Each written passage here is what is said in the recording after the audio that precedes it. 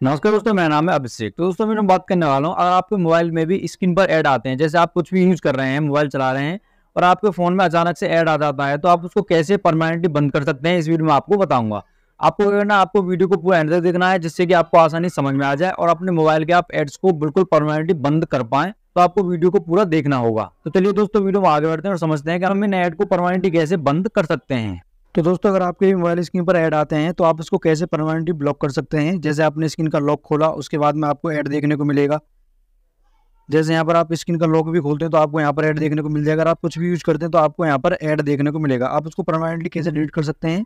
तो आइए सीखते हैं। इसके लिए आपको क्या करना है, आपको मोबाइल की सेटिंग में जाना है। आप तो यहाँ पर सेटिंग ओपन करेंगे। सेटिंग ओपन करने के बाद में यहाँ पर जो सर्च बार है, इसमें आपको टाइप करना है डी एन एस यहाँ पर जीए सर्च करेंगे तो ऊपर आप देख रहे होंगे यहाँ पर है प्राइवेट डीएनएस। इस पर क्लिक करेंगे प्राइवेट डीएनएस पर।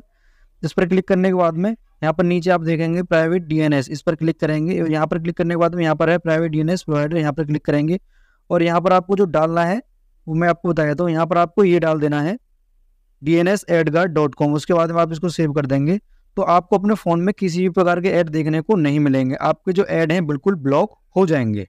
अगर आपको वीडियो अच्छी लगी तो वीडियो को लाइक करें और ऐसी नई नई वीडियो देखने के लिए हमारे चैनल को सब्सक्राइब करना ना भूलें। तो दोस्तों, मिलते हैं फिर ऐसी नेक्स्ट वीडियो के साथ में। Thanks for watching love you all